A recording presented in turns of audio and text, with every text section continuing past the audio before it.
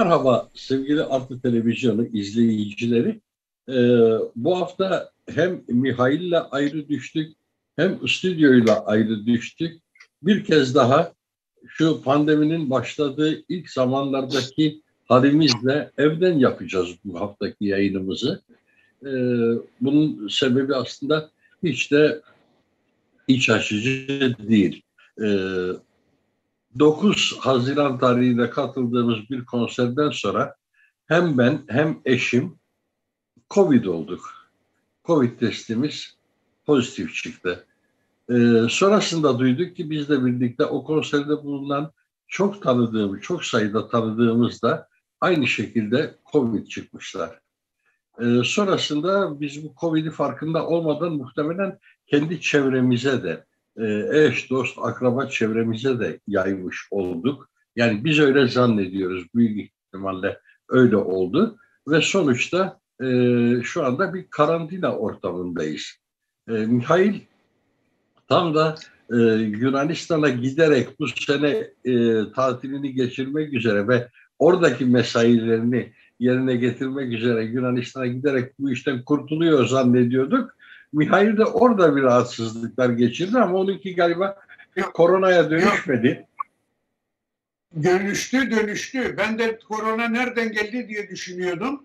Meğer geçen cuma yani e, iki hafta evvelki cumada yaptığımız programda ben de e, buraya geldiğimde e, müsbet çıktım. Ama iki gündür e, eksiye döndü.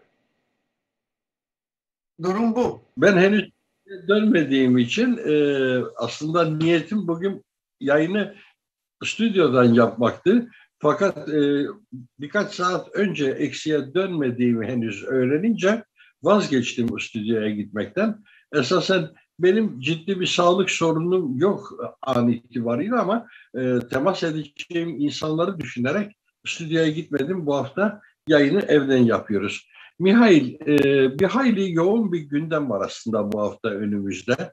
Hem e, Türkiye'nin sosyopolitik gündemi çok yoğun, e, hem de e, Yunanistan'da mı öyle? Pekala. Yunanistan faslını ağırlıklı olarak senden ortaya çıkıyor. Yunan Evet, Yunanistan e, faslını ağırlıklı olarak sen anlatırsın bize. Ama bizim buradaki gündemimizde e, çok can sıkıcı işler oldu. Çoğu zaman böyle oluyor zaten.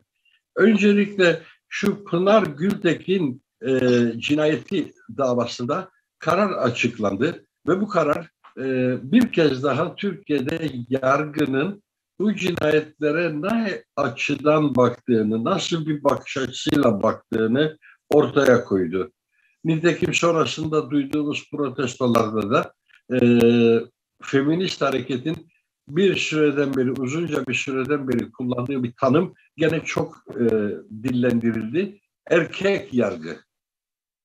Evet, bir erkek akıl, bir erkek yargı, bir erkek baskı mekanizması var kadınlar üzerinde ve mahkeme e, vahşice bir cinayet işlemiş olan sanığı bu işlediği cinayetten ötürü hiçbir pişmanlıkla duymadığını ifade eden sanığı, vicdanım son derece rahattır diyebilen bir sanığı e, müebbet hapis cezasından e, haksız tahrik indirimi uyguluyorum. Bu tahrikin ne olduğuna dair mahkeme fazla bir açıklama vermedi ya da mahkemenin kayıtlarıyla yansımadı bu tahrik ama yorumlara göre, söylentilere göre e, Maktul Pınar Gültekin e, bu e, katilin davranışlarını eşine bildirmekle tehdit etmiş. Ve bu da mahkeme tarafından e, tahrik e, unsuru olarak e, değerlendirilmiş. Sonuçta e, hukukçuların yorumuna göre bu cinayetten ötürü 14,5 yıl fiilen hapis yatması bekleniyor. Ve arada daha da trajik bir şey var. Mihail. Ee, evet bir sene sonra e, 1923'ün Ekim ayında Cumhuriyet'in 100. yıl dönümüne ithafen bir genel af çıkma ihtimali de söz konusu Tam olabilir genel, diyorlar. Bu da- değil. Siyasi mahkumlar yerinde kalır. Siyasi O ayrı bir bahis. Onlara Evet, genel evet. Bunlar- verilmez. Bunlar kader kurbanı diye tanımlanacaklar. Siyasi mahkumlar yerinde kalır. Hatırlayalım bir süre önce bir af mevzusu gündeme geldiğinde Cumhurbaşkanı Erdoğan şöyle bir ifade kullanmıştı. Demişti ki devletlerin af yetkisi ancak devlete karşı işlenen suçlar için söz konusu olabilir. Şahısları affet mağdur eden suçlar da e, sanı daha doğrusu suçluyu affetme yetkisi olamaz devletin dedi. Onları o suçtan mağdur olan insanlar affeder. Yani birisi benim evladımı öldürdüyse devlet bunu affedemez dedi. Bunu affetme yetkisi sadece bendedir baba olarak veya eş olarak veya her neyse. Yani o işten mağdur olan kimse sadece o affeder dedi. Bunu biliyoruz ki zaten şeriat hukukunun da anlayışıdır. Ee, İran'dan falan birçok örneğini görüyoruz. İdama mahkum edilenlerin idamının engellenmesi ancak mağdurun e, affetmesiyle mümkün olabiliyor. Mağdur eğer idam etmeyin diye bir dilekçe verirse mahkemeye e, mesela oğlu öldürülen bir baba buna karşılık bu katili asmayın ya da infaz etmeyin diyorsa ancak o zaman böyle bir şey uygulanabiliyor. Ee, Erdoğan da bu mantıkla demişti ki devlet sadece kendine karşı işlenen suçlarda af yoluna gidebilir. Kişilere karşı işlenen suçlarda af yoluna gidemez. Ama bunu dedikten sonra uygulama bunun tam tersi oldu. Tam tersi olarak e, mafyacılar, şunlar, bunlar hepsi salı verildiler ama siyasiler hapiste tutuldu. E, buna dair ne söylemek istersin? Ne diyeyim? Hukuk öyle bir duruma geldi ki söyleyecek söz pek yok. Yani neresini neresini e, eleştireceksin bunun? Adam parçalamış, koymuş ne bileyim suç yapılacak yapabilecek insanlık dışı ne varsa yapmış. Ondan sonra e, indirim e, tahrik indirimi uygulanıyor. Olacak bir şey değil. Yalnız küçük bir ümit e, ışığı üst mahkeme İstanbul e, karardan İstanbul Anlaşması'ndan çıkmanın doğru olmadığı hakkında bir karar vermiş. O ne olacak Danıştay. bilemiyorum. Bu, bu karar da galiba önümüzdeki Temmuz ayı içerisinde açıklanacakmış. Mış. Bakalım ne olabilecek. Evet, İstanbul Sözleşmesi'nden Cumhurbaşkanı kararnamesiyle Cumhurbaşkanı'nın tek başına iradesiyle çıkmanın hukuka aykırı olduğu yönünde dava açılmıştı.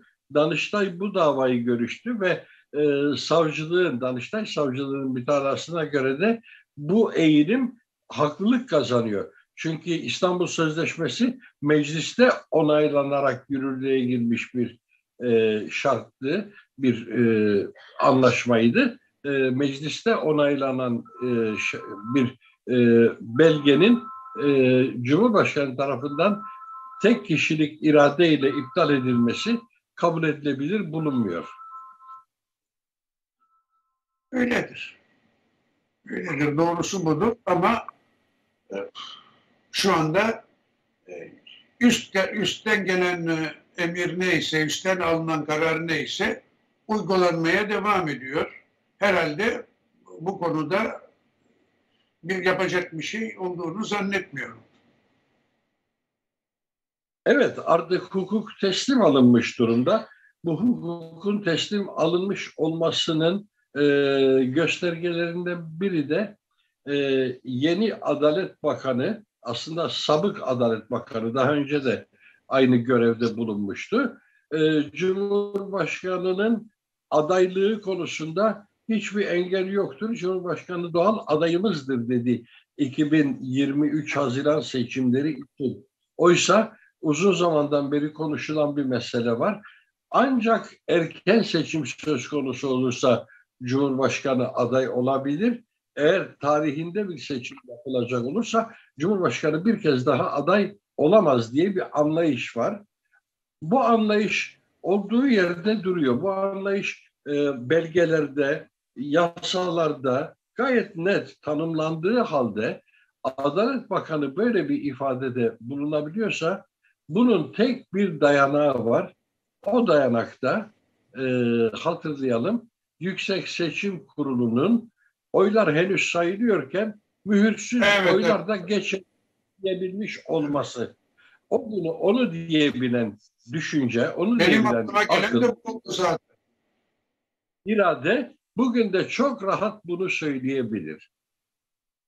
Ee, şimdi insanların tartıştığı şu, Cumhurbaşkanı aday olarak seçimi kaybetse mi daha iyi yoksa adaylığı engellense mi daha iyi? Hiç şüphesiz ki aday olarak seçimi Ses. kaybetmesi muhalefet için çok daha anlamlı. Aday olamayacağını bildiği halde bunu söyledi. Ee, ama işte bunu söyleyebilmesinin arka planındaki gerçeklik ise e, Yüksek Seçim Kurulu'nun henüz oylar sayılıyorken mühürsüz oylar da geçerli kabul edilebilir diye karar vermiş olması. Yani o günü bu hukuksuzluk, bu e, yasayı çiğneme söz konusu olduysa ondan sonra mütemadiyen aynı şey tekrarlanabilir. Yetkiyi elinde tutan bu da olur, böyle de olabilir diyebilir. Hiçbir yasaya sınırlı kalmadı. Şu anda şu anda görülen o ki e, bir şeyin yasal olarak görülebilmesi için bu yüksek bir makamdan e, işte seçim kurulu yahut ne bileyim cumhurbaşkanlığı yahut neyse başka mahallenin, e, ilçenin kaymakamı e, karar alıp bunun e, uygulanmasını istemesi kafi geliyor.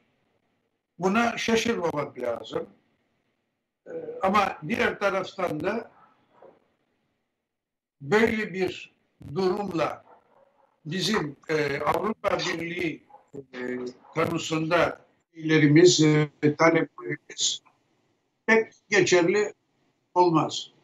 Zaten burada Yunanistan'da mevcut bir durum var. Beni güldürdü. Ben geldiğimden e, görüştüğüm pek çok kişi ya diyor biz yıllardır uğraştık. Bu Avrupa Birliği'ndeki, NATO'daki ortaklarımızı ikna etmek için işte bizi tahdit, tehdit ediyorlar, şudur budur e, e, diye pek kale alınmıyordu.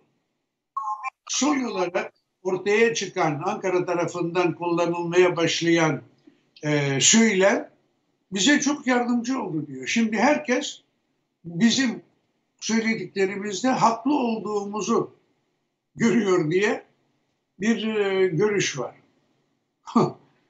Gülmemek elde değil.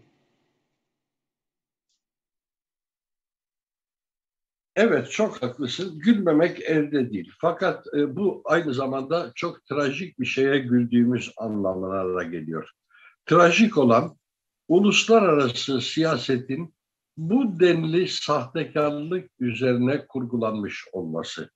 Aslında Türkiye daha doğrusu Cumhurbaşkanı Erdoğan yönetimindeki Türkiye dış politikası işte o sahtekarlık panayırında kendi alanını bulmaya çalışıyor. Ben dış siyaset konularında Türkiye'yi hiç de eleştirmiyorum. Çünkü küresel anlamda uluslararası ilişkiler veya dış e, siyaset bütünlüğüyle bir şarlatanlar panayırına dönmüştür. Herkes doğrunun ne olduğunu, yanlışın ne olduğunu, yalanın ne olduğunu gayet iyi bildiği halde maskeli baloya gitmiş insanlar gibi rol yapıyor. Sürekli rol içerisindeler. Her biri, her bir ülke ve her bir ülkenin diplomatları e, kendi çıkarları, kendi önceden tanımlanmış, belirlenmiş çıkarları için sanki bir maskeli baloda rollerini oynuyorlar. O anlamda Türkiye'nin de e, bize göre son derece tutarsız olan, son derece vicdanları yaralayan bütün siyasi manevraları o mecrada makul hale geliyor. O mecrada öyle çünkü ama, insan... Öyle ama arada büyük durumda. bir fark var. Arada büyük bir fark Ne? var. O dediğin yerlerde ne gazeteciler hapse atılıyor, ne onların üstünde bir sansür güçleri var ve doğruyu söylemek isteyen rahatça söyleyebiliyor. Siyasiler de öyle. E, muhalefetteki partiler kendi söylediklerini, kendi politikalarını serbestçe ifade edebiliyor. Başlarında demokrasi kılıcı yok. Bu büyük bir farktır. Hele biz de o duruma kadar gelebilelim. Ondan sonra daha iyisi için mücadeleye ben de varım, hepimiz varız. Türkiye'nin farklı bir ligde olduğu hiç şüphe götürmez. Sen şimdi o ligi tanımladın. Evet o lig Putin'in Rusya'sının ligi ya da e, Kim İlgin e, Kuzey Kore Ligi ve Türkiye o ligde e, oynuyor şu anda. O lige ait oluyor ama bu onun gene de e, uluslararası siyasette çok önemli bir figür olmasının önüne geçmiyor. Mesela ben Suriye'yi işgal edeceğim dediği anda o John Stoltenberg denen NATO sekreteri Türkiye'nin e, güvenlik kaygılarını anlayışla karşılayabiliyoruz diyebiliyor. Öyledir. Benim kastet benim kastettiğim kabul edilemez olan şeyler bunlar. John Stoltenberg çok iyi biliyor ki e, Türkiye'nin güney sınırından Türkiye'ye yönelik herhangi bir tehdit ne bugün var, ne üç sene önce vardı, ne beş sene önce vardı, ne on sene önce vardı. Ama on senedir Türkiye Suriye için, özellikle Suriye'nin kuzeyi için çok önemli bir tehdittir. Bunu bildiği halde e, Suriye'de 30 kilometrelik bir alanı güvenliğim için işgal edeceğim dediği zaman Cumhurbaşkanı Erdoğan o Stoltenberg'de müttefikinin bu açıklamasına biz Türkiye'nin e, sınır güvenliği kaygılarını anlayışla karşılayabiliyoruz, karşılıyoruz diyebiliyor. Kabul edilemez Tabii olan kendisine zarar şeyler. gelmediği için, kendi faydasına olduğu için bunu yapabiliyor. Ama mesele içeride. Dışarıyı bir kenara koyalım. Bizim sorunlarımız arasında biliyorsun şu yönetmelik de var. Değil mi? Seçim yönetmeliği. Azınlıkların. Evet, Bu yönetmeliği evet. e, maalesef hiçbir ihtiyacı karşılayamayacağı ve özellikle Rum toplumu için bir beka meselesinin olduğu bir Rum toplumu için en ufak bir e, ümit e, kapısı bırakmadığı görülüyor.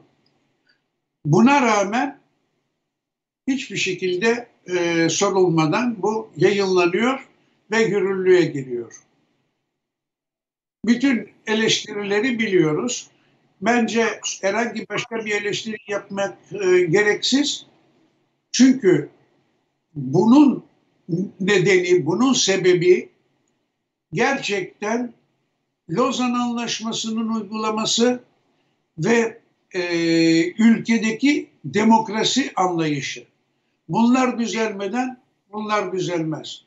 Onun için hep beraber, hep birlikte el ele verip ülkemizi, yaşadığımız ülkeyi sevilen ve sayılan bir ülke haline getirmeye çalışmak. Kendisinden korkulan bir ülke e, olması hiç kimsenin işine yaramıyor. Özellikle halkın işine yaramıyor. Zamlardan bahsediyoruz. Çıkan haberi ben gözlerimle görmesem, e, kulaklarımla işitmesem inanmayacaktım. Yüzde kırk bir zam nereye? Doğrudan doğruya Cumhurbaşkanlığı e, maaşına. Tamam, gerekiyorsa yapılsın. Ama eğer o düzeyde bir yüzde kırk zam ihtiyaç e, görülüyorsa o zaman asgari ücretlere de aynı zamı yapmak gerekir ve bu da yetmez. Çünkü yapılacak zam hemen ertesi günü hatta bir gün evvelinden iki gün evvelinden e, bütün fiyatlara yansıyacaktır. Kimsenin ceplerinde bir şey olmayacaktır. Tek olacak şey açlık sınırının bugünkü e, şey sayısı neyse, düzeyi neyse hemen onun yüzde kırk üstüne çıkacaktır. Dolayısıyla zam yapmak yetmeyecek, fiyatları da sabit tutmak gerekecek. Bu nasıl e, olabilecek? Bunun bir e, ekonomistlerin elinde bir sihirli değnek var mı bunu halledebilecek? Nasıl olacak bunlar? Tabii ki yok. Çünkü zamların çözüm olmadığını vatandaş da farkında.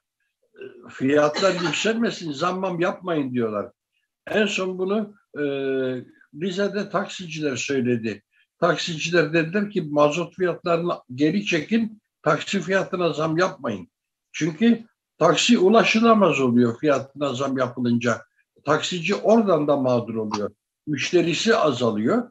E, alacağı tarife yüksektir diyorlar ama bu sefer müşterisi azalıyor.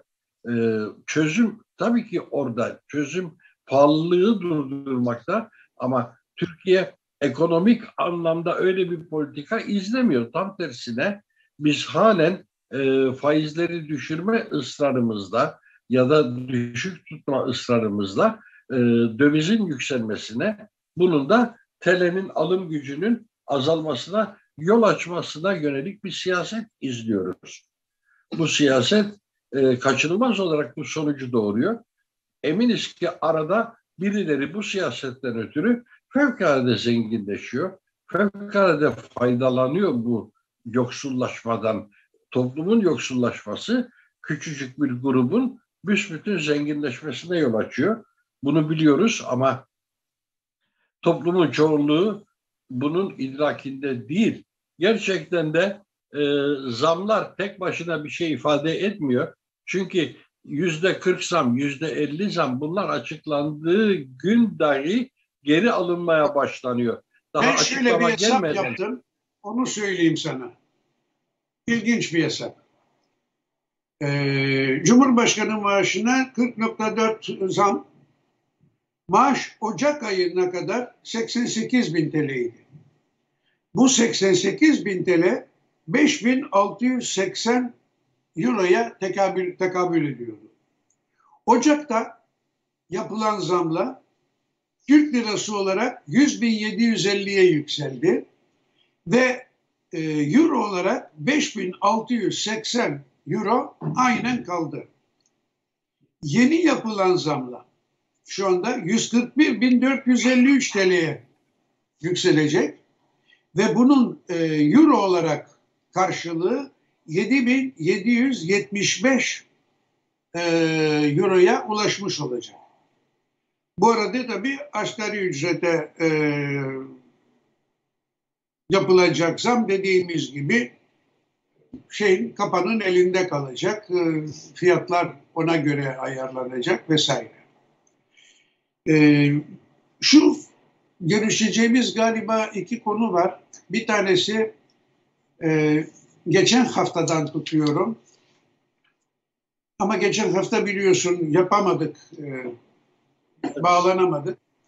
Şöyle bir haber çıktı gazetelerde. Dolapdere'de bulunan Panagia Evangelistriarum Ortodoks Kilisesi'ne ayın töreni esnasında atılan cam şişe nedeniyle ortalık bir anda karıştı. Bu haber pek çok gazetede hemen hemen aynı mealde çıkıverdi ve aynı e, şeylerle, fiillerle ve sıfatlarla. Ortalık bir anda karıştı. Polisin alarma geçtiği olayla ilgili şişeyi atan üç çocuk kısa sürede yakalanırken bir gün gerçek ise herkesi şaşırttı. Neymiş bu şaşırtan gerçek? Çocukların oyun amaçlı uçan beyaz bir kuşu vurmak için fırlattıkları şişe yanlışlıkla kiliseye düştüğü ortaya çıktı. Şimdi Burada benim merakımı mucip birkaç durum var. Biri, gerçeğin bu olduğuna kim karar verdi? Gerçek ortaya çıktı diyor ya bütün gazeteler. Bu gerçeğin böyle olduğunu kim karar verdi? İki, olayın oyun amaçlı olduğunun kanıtı nedir? Üç, korkarım ki bu konuda hani bir laf vardır, özrü kabahatinden büyük diye. Yahu bir kuşa, uçan kuşa şişe atmak, o şişeyi kiliseye atmak arasında pek bir fark bulunur mu? Bu çocuklara kim öğretti uçan kuşlara e, şişe atın diye? O şişe derken kilisenin camına gideceğini bir kafaya da düşebilirdi. Ve bu o çocuklara empoze edilen e, düşünce biçimini gösterir.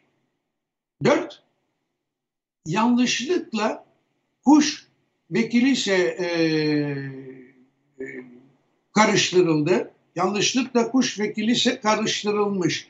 Bu nasıl bir yanlışlık onu da anlayamıyorum.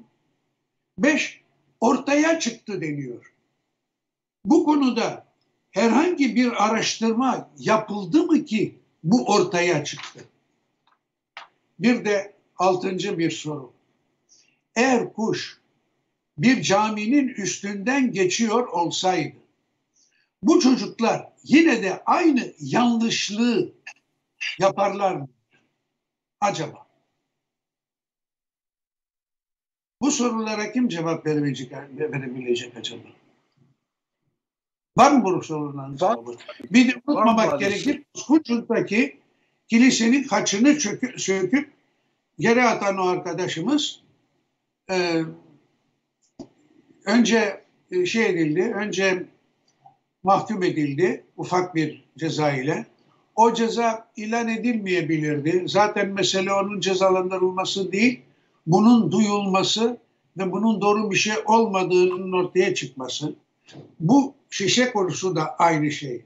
13 yaşındaki çocukların kullanılarak, çünkü çocukların aklına böyle şeyler gelmez. Ondan sonra beraat etti bu kişi. Ha affedilse anlarım. Ama beraat. Mihail buna kim karar verecek dedin ya. Ben de sana Van valisinin açıklamasını hatırlatmak isterim. Ayın 20'siydi sanırım. Van'ın Başkale ilçesindeki bir mezrada emniyet kuvvetleri, asayiş kuvvetleri aranan bir sanığı gözaltına almak için bölgeye gidiyorlar. Sanığın bulunduğu ev belli, o eve gidiyorlar ve sanık evden dışarı çıkıyor. Bunlar görüntülerle izlediğimiz şeyler. O sanık evden dışarı çıkarken bu polis midir, özel harekat polisi midir, asker midir artık kıyafetinden ayrımına varmak mümkün değil.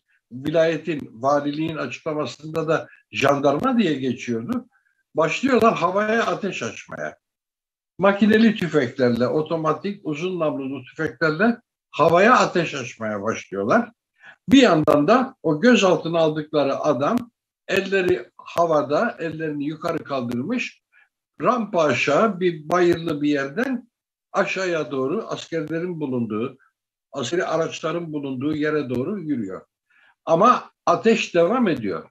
Ateş devam ederken bir yandan da kadınların çığlıkları, panik halindeki kadınların çığlıklarını duyuyoruz. İnsanlar feryat ediyorlar. Büyük bir korku, büyük bir panik, dehşet atmosferi yaratılıyor. O havaya ateş açılması e, esnasında. Bir yandan da rütbeli olduğunu zannettiğimiz birisi belinden tabancasını çıkartıyor. O da katılıyor bu havaya ateş açma meselesine tabancasıyla.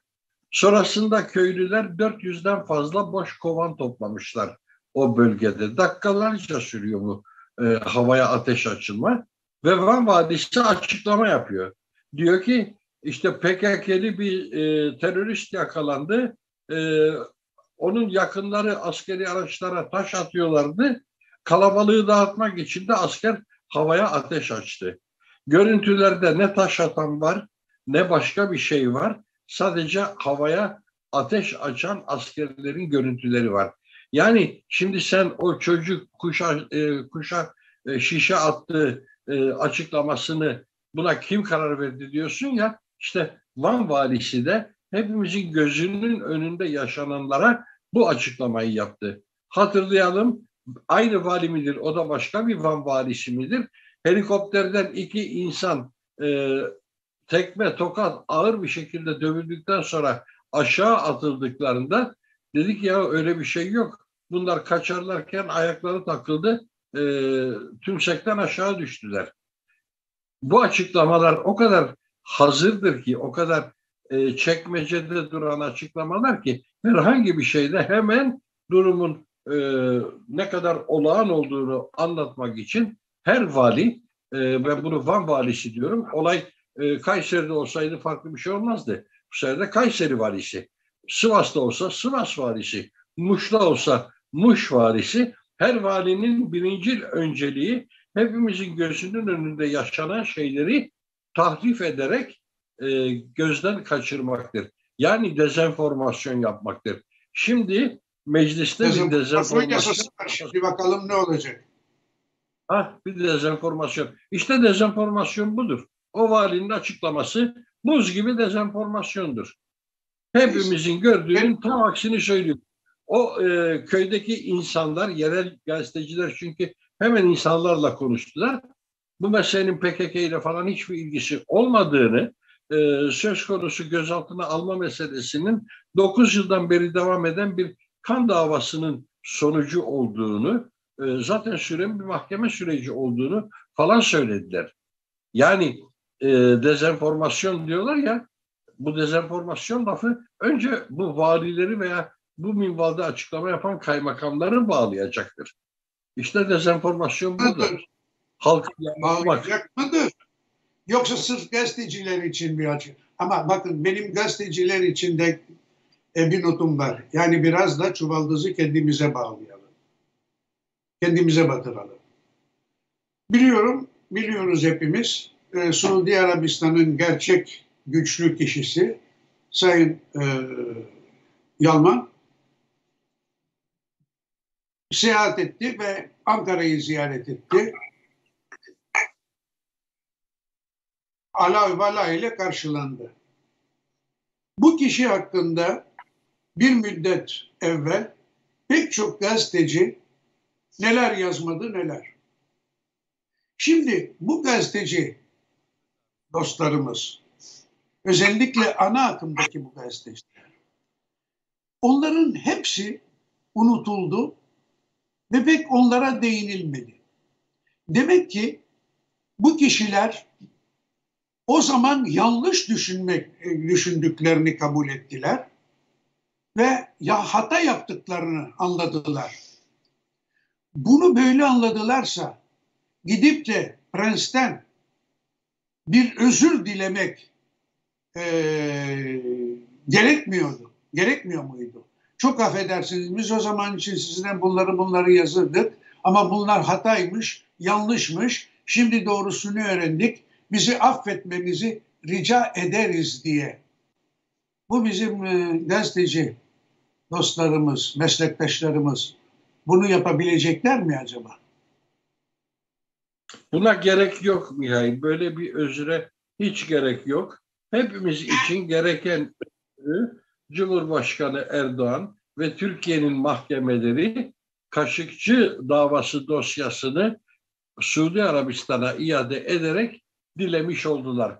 O e işte, benim dediğim benim dediğim çuvaldızı kendimize batıralım gazeteci olarak.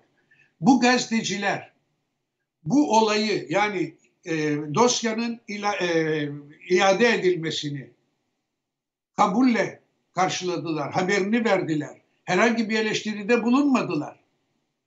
Ama eski yazdıkları, söyledikleri ortada. Dolayısıyla doğru bildikleri eğer ikincisi ise özür dilemeleri gerekmiyor mu? Asla gerekmiyor. Yoksa Onun için içlerindeki gazeteciyi çoktan mı öldürdüler? Çoktan öldürdüler şüphesiz ki. Onlar bu holdinglerin gazetecileridir. Onlar medya dediğimiz o canavarın kalemşorlarıdır ve onlardan herhangi bir konuda özür dilemek beklenemez. Medya etiği, gazetecilik ahlakı beklenemez. Ee, nasıl beklenemez? 16 tane meslektaşları hiçbir somut gerekçe yokken tutuklandılar Diyarbakır'da.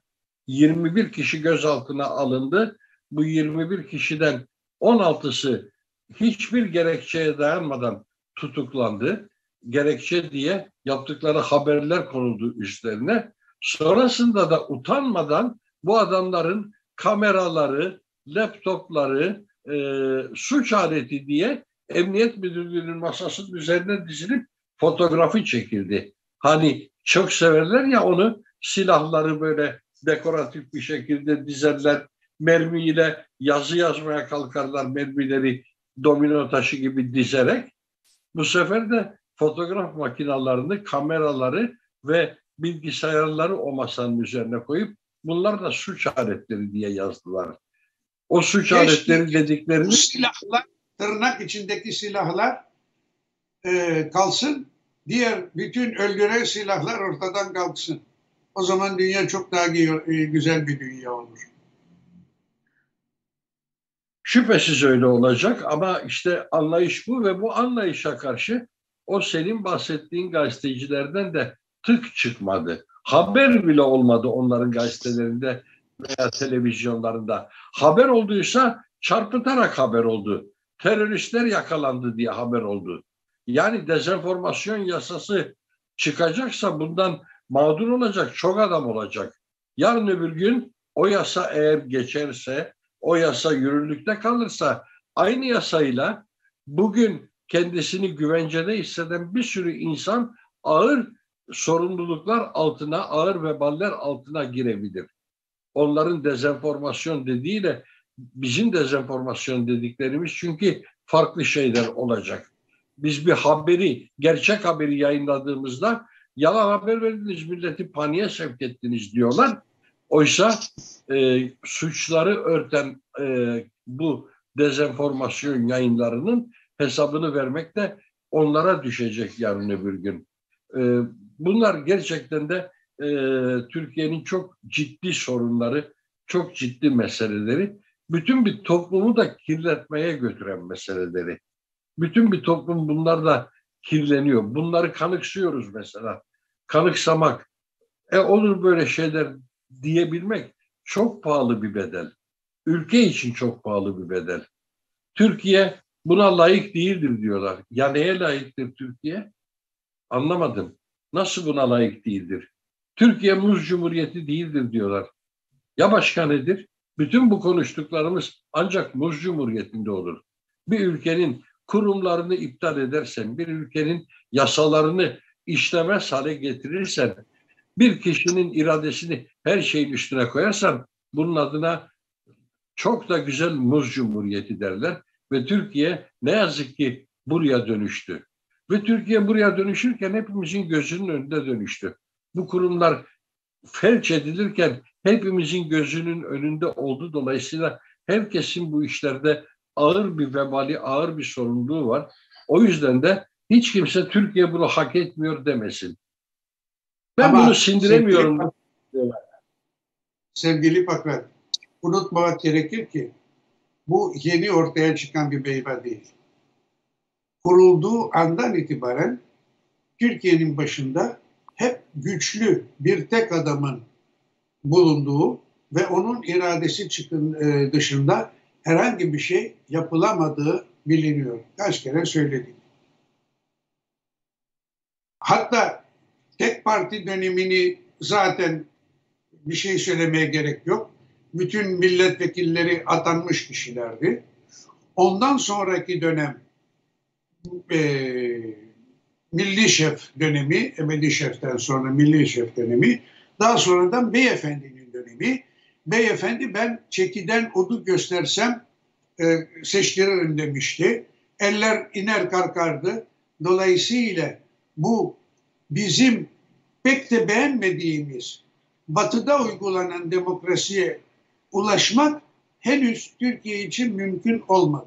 Hele bir oraya ulaşalım. Ondan sonra mücadelemizi daha iyisi iyisi e, hep beraber yaparız hep birlikte. Evet, e, bunu sen mütemadiyen söylüyorsun. Ben de sana bu konuda katılıyorum. Doğrudur ki bir Batı demokrasisi denen e, nosyon var.